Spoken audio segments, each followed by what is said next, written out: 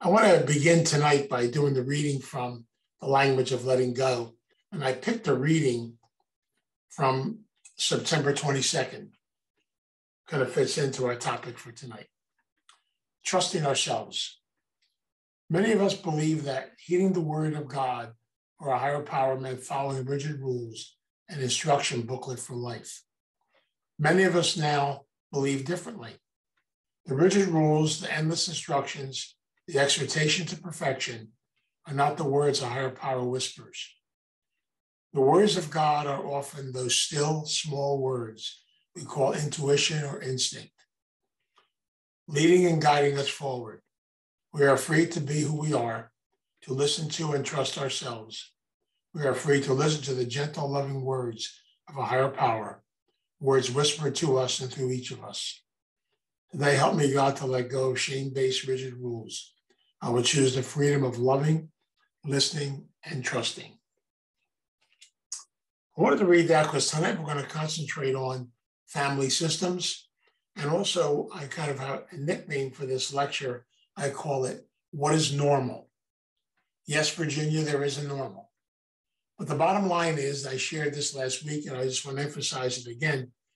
If you go back and you look at, and you actually look at the first 10 years of your life, that's where all your basic foundations and things are set. I mentioned the five families last week that we enter into at birth. You know, without we have no choice, we have to. You know, our, our normal blood family, our neighborhood cultural environment family, you know, our religious family, peer family, and society family. And all of us experience this as we go through this process in life.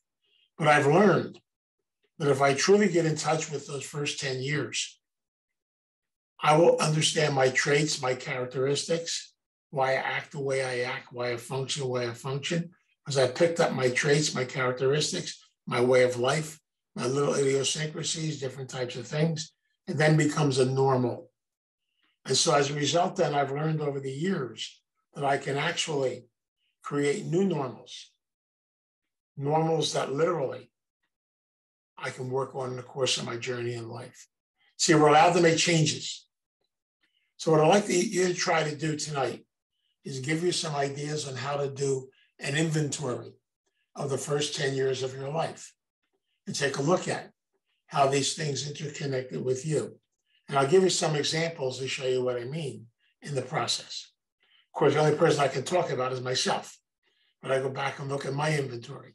Because again, the first 10 years of my life were from 1940 to 1950 the first 10 years of my granddaughter Jordan's life were from 1998 to 2008.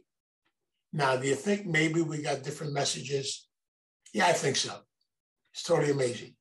The bottom line is those messages are connected to each and every one of us based on the years we've grown up in the course of our journey. Give you an example in my family system and growing up, we had all kinds of rules. I lived in Camden, New Jersey, and my blood family, my parents, you know, as I mentioned before, came from Italy. They were, you know, part of an arranged marriage, and I'm the only child. And basically, growing up in Camden back in the 40s, literally, everything was divided. You had the Italian Catholic Church, the Irish Catholic Church, the Jewish synagogue, the Polish Catholic Church. We had the African American Catholic Church. We had the Spanish Catholic Church. We had the German Catholic Church. We had more Catholic churches and only one synagogue, but plenty of Catholic churches. But basically, the rules were here's those rules. Everything was rigid. You're not allowed to go to any church except the Italian Catholic Church. I think if I went into the Irish Catholic Church, I think I was committing a sin. It was totally amazing. But it's amazing how these things are drilled into you because people are operating on fear. And codependency thrives on fear and control. We try to control everything and we live in fear. Then we're scared to make changes and look at things differently in the course of our life. My mom, I picked up from my mom my addictive personality. Love my mom. I'm grateful she gave it to me. My mom had her own addiction problems. She also was a compulsive overeater. I picked up a lot of my traits and characteristics from her. I also picked up my codependency traits from my dad, Mr. Wonderful, Mr. Fantastic, who did everything for everybody, never had a life of his own. And I became my father. I became the connection of both of them together. So traits and characteristics, but also the rules that went along with it. Growing up in the early 40s, you know, basically, my mother had a lot of rules. My mother kind of over smothered me and protected me. So one of the rules we all remember, many of us probably remember this one, don't go anywhere unless you have clean underwear. Because God forbid you have an accident. You might be dead, but at least your underwear will be clean. I won't be embarrassed. So it's crazy. We look at these things and we laugh about them today, but they were serious about this stuff back then. The other one is I learned this from my mom. If God wanted you to fly, God would have given you wings. Stay out of airplanes. They're no good. I didn't learn to fly. I, I didn't even get flying an airplane until I was 48 years old because I was scared. I carried that all the way through my life. When I finally got married, my wife walked me down the gangplank with a guy called so a gangplank, that chat uh, thing you go through to get on the plane. And I could swear my mother would be standing there waiting for me, still scared half to death it's amazing how these things play in your head the guilt, the fear, these types of things. They're all part of it. I, I know now that I was trained in guilt, fear, and worry. It was all part of it. The other one was, you know, my mother used to do this to me never ride a bicycle because you might get hurt. Don't breathe, you might get hurt. Don't do anything, you might get hurt. I learned to ride a bicycle when I was 51 years old. That was a sight for sore eyes my friend who's the chief of police in Williamstown, my neighbor, he actually, he's 50, he was 56, I was 51. Now visualize him running down the street behind me, holding the seat of the bike so I can get started. Two, two adults. I never learned how to ride. So I finally learned how to ride. I love to ride, but it's great. It's crazy some of the stuff that we do. I look at these things and we learn so many different ways of life, but they kind of become our normal pick up our prejudices. We pick up the attitudes, things of this effect, how we look at life. And again, I realized a lot of positive came from it too, because I realize over and over again, as I work on myself today, I'm learning from my history, from my past. Believe it or not, I'm grateful to my mom for my addictive personality today. It gave me the gift of recovery, gave me the gift of all of you. It's fantastic. My dad, how to learn to set some boundaries, how to learn that magic word, which was scary as hell.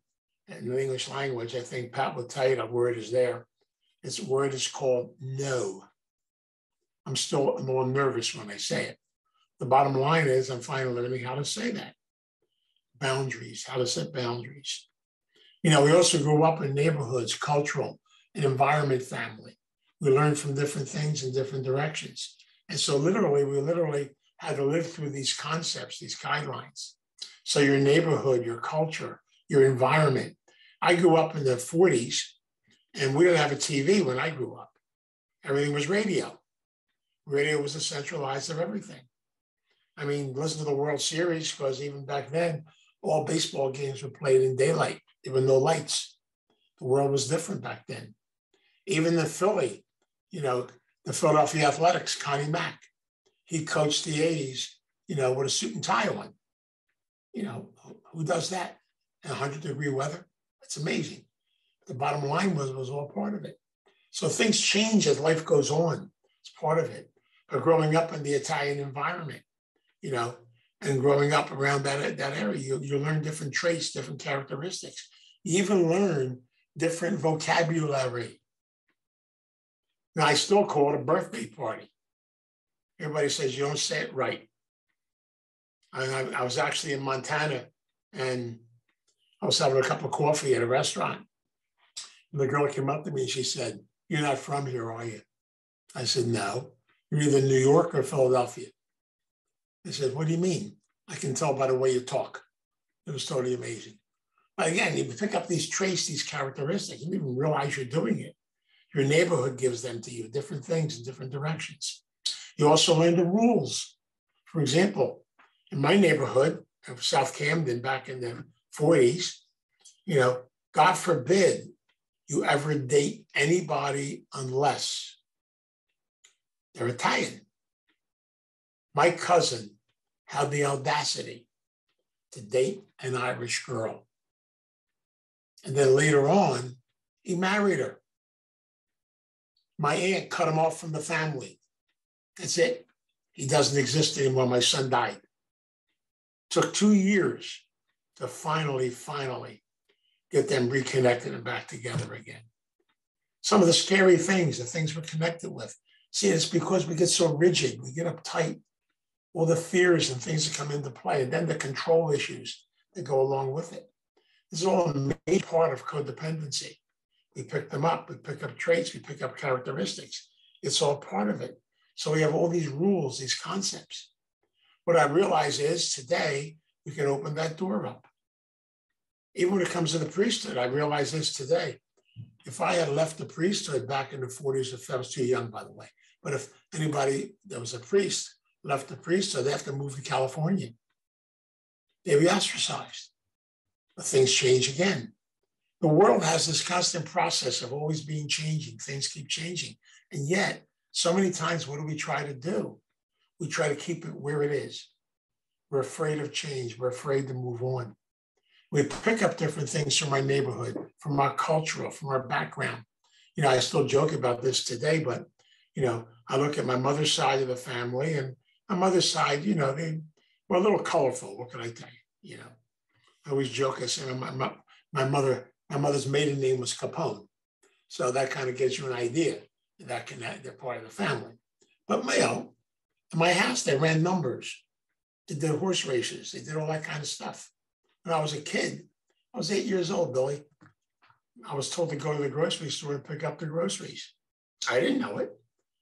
My uncle gave me a nickel to go to the grocery store. A nickel was a lot of money. I like that. But the groceries, the groceries are on top and the number slips are on the bottom. I was actually running running number slips, and even though I was doing it eight years old, it was totally amazing. But see, I can look back on that today, and I really, I mean, my mom was a bookie. My mom booked numbers, you know, all that kind of stuff. And it was almost like my father's side of the family, he was Mr. Wonderful, Mr. Perfect. Everybody loved him, did everything everybody wanted, cooked for everybody, took care of everybody. Good God. What a dichotomy. Even in my family, I must have had, I don't know. I, our house was Grand Central Station. I had people in and out of my, I knew who they were. They'd say to my father, who's that? That's your guma. Who's that? That's your gumba. Who's that? I these gumas and gumbas. I don't know who they were. It wasn't important. Because little kids should be seen and not heard. Quiet. Everything was held in, everything was held back. It was a scary concept you come right down to it. These are traits, these are characteristics. Even when it came to religion, you know, we were taught a religion of fear, a religion of guilt. I was always scared to death of God. God had this big book, he's up there watching me. If I did something wrong, boom, I got you. But I learned that from my patterns. But again, look at normal. When I was a kid, I went to an Italian Catholic grammar school.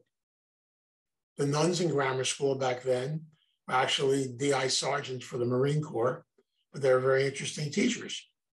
You know, you know, Pat, that was crazy back then because literally, you know, they walk them down the aisle, smack you on the head, hit you with pointers. Oh my God, I still got pain from them. Still remember Sister Drusilla. She she she was rough, man. And then Sister Gaudentia used to yank hair out of your head. Now you wonder why I'm like this all the time. She hair yank out of your head and hold it in front of you and smile at you. Mm. But again, that was normal. Today, they'd be arrested for child abuse. Be totally different today. See how normals change over the years? Went home and told my parents that sister hit me, guess what? I get hit again. So I didn't have wrong say nothing. The concept was it was a whole different world. Even growing up, you know, we had the first TV in our house when I was eight years old, 1948. We're excited. The TV was about as wide as this desk I've got here. had about 25 tubes in it. We had a man in Camden called the Tube Man. They kept burning out. He had to come around and change them all the time. We had a seven inch screen, black and white, and one channel. One channel. It came on six o'clock at night, went off at nine o'clock at night. We had the same shows every night. The newsreel from six to six thirty, Howdy Doody with Clarabelle, the puppet show at, at, at six thirty to seven. Then Frontier Playhouse, a cowboy show. Eight o'clock, we had variety show with Caesar Imogene Coca, Jimmy Durante, Ed Sullivan. You know, nine o'clock, they play the Star Spangled Banner. And then you test pattern for the rest of the night, come back the next day and try again. But again, things move from there. Now we've got a TV what? Pretty soon you'll have one implanted inside of you so you can watch it all day long. Now we have it on our cell phone. We can watch movies, do all kinds of things. It's amazing how things change over the years. It's interesting going through that process of change. But the beautiful thing about it is you got to be open to it. If you have an open mind, this can be exciting to watch the transition, to watch the change. But again, rules and regulations and things that we learn. Today, I have a God of love, a God of simplicity, a beautiful God in my life. Things have changed over the years. And we have the power deep down inside that change can take place every day in the course of our journey. Things are always in process, they're always learning, we're always growing. We can't go back, even though I know the guys at the gym in the morning, they keep wanting to go back to 1940, 19, in the 1950s, and they want to go back. The, police can please go back. I said, I don't want to go back. I want to stay where I am. I want to move forward. But again, it's that concept of nostalgia. It's okay to talk about it, to look back on it, but to be able to laugh about it, to learn from it, to grow from it. It's all part of traits and characteristics. Your peer family. Growing up as a kid, I tell you, my peer family was a tough, tough family. And many of us realize the fact that our children are tough on kids. When I was a small boy, you know, I was a little bit heavy. And, you know, my mom had this little pattern, you know, she used to, you know, what can I tell you? She, when I went out to play, she would go out with me and tell the other kids not to hurt me. And that really did wonders for your ego. It's amazing.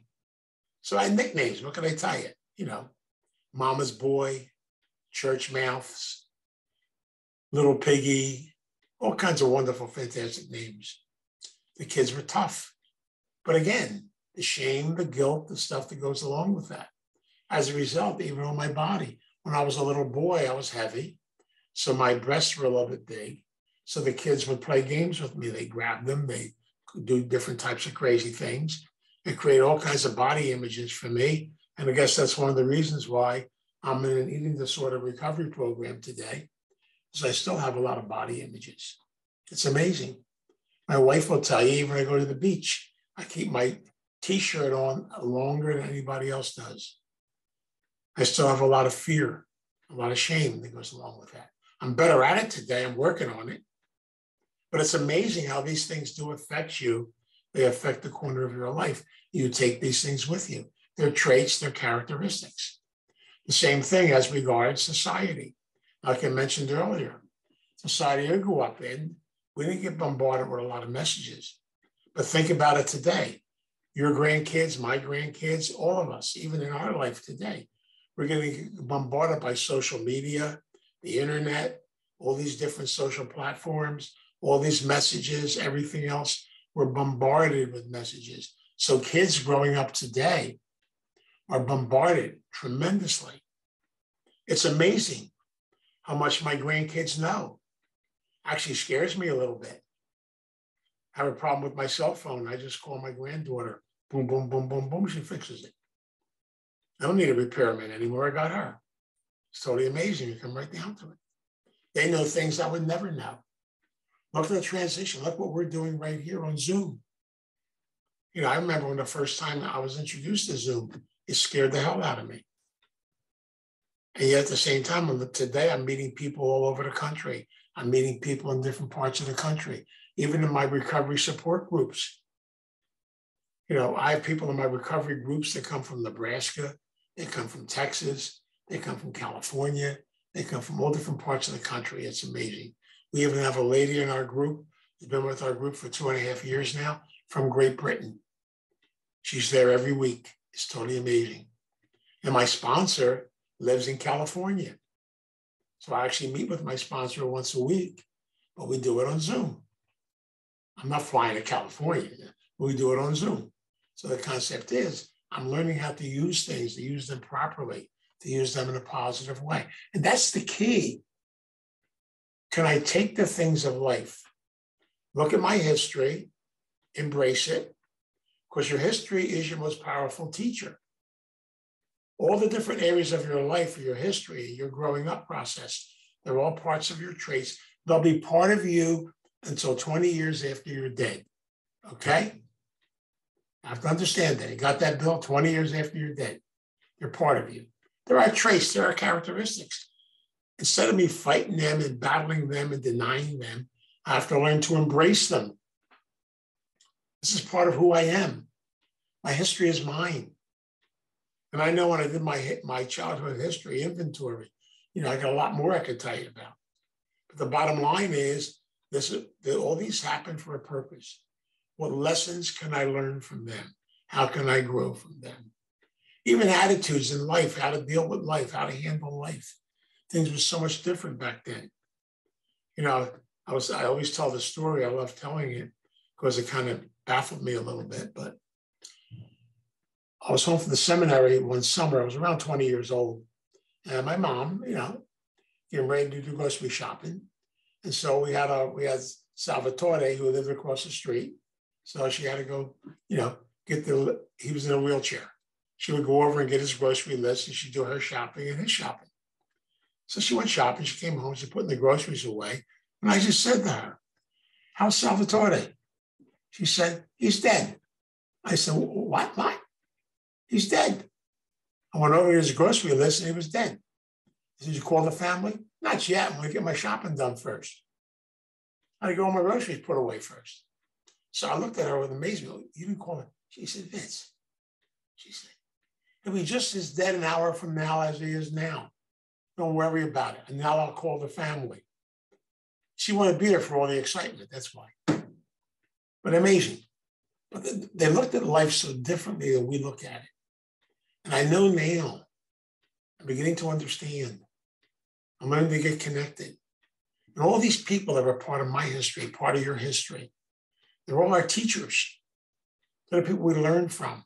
And as codependents, we have to learn don't live in fear because fear will tear you down or rip you apart. If you live in fear, you're in trouble. Don't live in control. See, you can't control life. Stop trying to control it. Life has to be fluid. Our concept has to be fluid. You know, in a couple, of, a week, about a week or so, I'll be 82 years old. I don't want to be 28 again. I don't want to be 30 again. It'd be different if I knew everything I know now and I was 28 again, but it's not going to happen. I don't want to go back to those years, right, Kath? I don't want to go back. But the bottom line is, I have to be able to accept the reality of where I am. How can I move forward? How can I learn? Don't don't ever be done. God, please, don't be done. So we're always in process. We're learning even the founders of AA, think about this for a minute. When they put the big book together, 12 steps together, they were concerned about a disease called alcoholism. Did you think they thought back then when they put this beautiful steps, this beautiful traditions, the book together? Did you think back then they knew there'd be today, there'd be 21 different 12 step programs based around that same thing they put together back in 1935? It's amazing, isn't it? And yet things change. It can't stay in one way. Even the book itself has four different editions, the process of it. And yet it's so beautiful because in the book, it's a, it's a fluid. It's a concept of suggestions of things we can learn. They tell you take what you can use, leave the rest, learn different things, move in different directions. Everybody's got to find their own journey. I think the biggest thing we have to learn in life is to relax and go with the flow and realize the fact that we're on a journey. There's a beginning, there's an ending. Got a round trip ticket, don't worry. The bottom line is celebrate each moment, celebrate life, celebrate the things that we have. And yet, I've learned over the years when I live in fear and I live in control, I'm dead while I'm alive. I don't want to be dead while I'm alive. We have to learn to be the architects of our journey and be open to it. And yet, that means I have to be able to embrace who I am, embrace the celebration of myself as a person. Yes, we have traits, we have characteristics. We go through periods of loneliness, we go through isolation, we go through fear, we go through all these types of things. That's all normal, it's part of life. We have to learn how to be able to acknowledge who we are. We have to learn to be able to honor who we are. We have to be able to open up the doors to who we are. That's the beautiful part about this process. And that's what life is supposed to be all about. But I know I have to be able to look at my history and be in love with it, to embrace it and celebrate it. And people even ask me questions. You know, I should have mentioned this earlier, but they say, How come you're a New York Yankee fan? You know, if you look behind me, there's all kinds of Yankee memorabilia and stuff to that effect. And I said, Well, the reason why I'm a Yankee fan, because I grew up in the 40s. You got to realize, Italians, here we go again the rules and regulations. Back in the 40s, 80% of the Yankee team was Italian. Therefore, you root for the Italians. It's like I used to, it became a normal. What can I tell you? And so now it's still my normal. What can I say? The bottom line is I've learned from it. I realize the fact you look back and you can actually have a little bit of a sense of humor. I know many of us have gone through a lot of trauma, a lot of hurt, a lot of pain. We're going through sometimes even insanity and craziness. But somehow, some way, have to be able to embrace it, learn from it, grow from it, become stronger as a result of it. Even though it's not easy, it's all part of the journey we go through in life. And remember, it's that concept again to move forward, not to go backwards. I'm learning over and over again the value of letting go of control, the value of opening up and not being afraid. And yet it's scary. You know, it's funny to say, don't be afraid, but it's still scary. It's true. Change is not the easiest thing in the world. Going through transition isn't easy, but it's all part of it. So struggle is part of life. The growth is part of life. Everything in life is this constant process of up and down. You know, it's not this straight line. Remember, I told you a long time ago go to a heart station, hook yourself up, and make sure it's going like this, okay? It's going like this, you got a major problem. Life is the exact same way. It's supposed to be fluid, move back and forth. So we go to our history to learn about my traits and my characteristics. I still got a lot of them. I mean, good God, if you talk to my wife, she'll tell you all about them. I talk with my hands. If I sat on my hands right now, the lecture would stop. Be totally amazing, you know, because I got to keep moving. What can I tell you? These these are part of this is part of me, part of my makeup. And so as a result, then I have a tendency to have little traits and characteristics. You know, you know, I, I saw once in a while I have a tendency. My wife says you did it again. You know, so basically I say okay, but basically I'm learning over and over again. It's part of my journey you know, Loretta will tell you, I'm to say, ah, don't worry about it. Don't worry about it. You know, sure, go ahead, whatever you want to do. Keep. And she says, listen, stop. You'll give the house away. oh, well, you know, they need it, let them take it. What are you going to do? But the bottom line is, it's only a house. It's only a place. It's only material. You have to learn to share, to give, to be open to others. You know, we have to learn our different personalities. We all got different personalities. I mean, God, look at this place right here. All these different personalities. God. You know, we got the maestro. Look at that personality. We got the crazy lady Carol up there, her personality. We got Billy out in Arizona. We have all these different people. We got John. You know, hey, come on. It's all part of who we are. We're all different. Isn't it great? And yet, oh, even Howie too. It's all right. Basically, we're all we're all part of this journey. We're all part of life. We have to be this. We have to be connected to one another. So we learn from each other. We grow from each other. We grow from situations in life. And what I'm trying to say tonight is try to the best of your ability. as you do an inventory of your history, try to look something positive from it, learn something positive from it.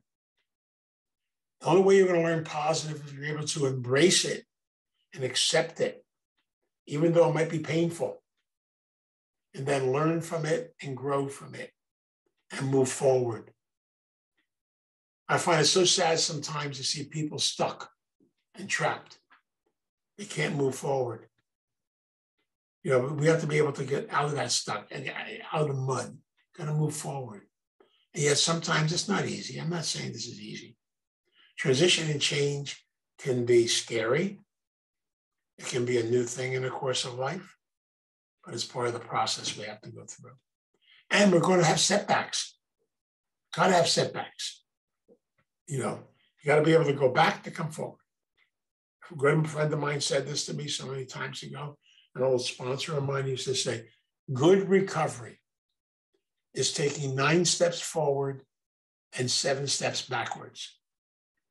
It says you made progress. Progress, not perfection. If you learn that much today, my other sponsor used to say to me, if you learn that much today, that much, I used to get mad at him and say about that. He said, nope, just that much. That's enough. That means you've grown. You're experiencing something new to work in a new direction. And we can get very negative sometimes, get very down on ourselves sometimes. Because I wish it was this way, I wish it was that way. Here comes those expectations again. Instead of living in the moment, staying in the moment, celebrating where we are, and being open to the next moment, being open to new areas of life. So I, I bring out that term, what is normal? Whatever's normal is was ever normal for you today. That normal can change tomorrow. That's why I love that phrase. Yes, Virginia, there is a normal. I go back and look at my history and my past. I can talk about it today, but it's not my normal anymore. You know, I, look back and when I was 18, 19 years old, I had hair. It was wonderful. I don't have hair now. That's okay too. Just got a haircut about an hour ago.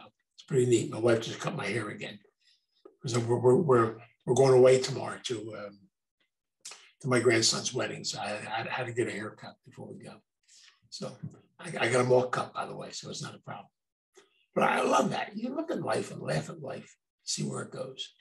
All I got to do tomorrow morning is, yeah, I, I love it because now, All I got to do is get a dish rag and go like this.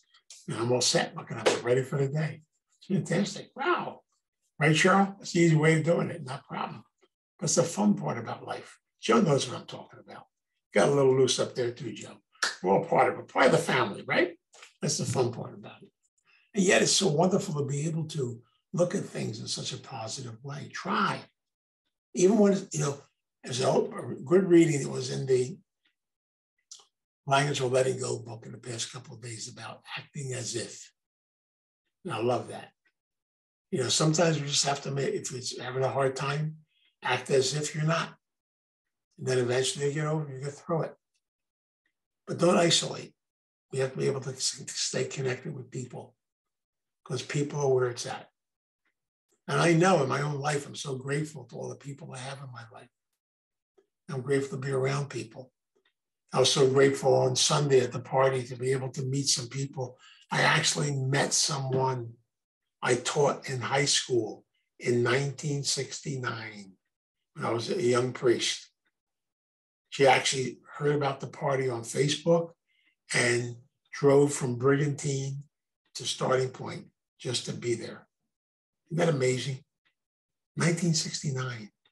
There was a guy there I helped get sober 39 years ago. Because I, to, I, he told me the story. He said, Don't you remember at your Frey Hospital? You said to me, if you don't get sober this time, you're to take a baseball bat and smack you across the knees till you start praying. He said, You remember me? You remember you telling me that? I said, Yeah, I remember. And I said, The baseball bat's in my office. You better stay sober, I told him. But the bottom line is all these little things, memories, the stuff that come back to you, things that you do, it's, it's what life's about.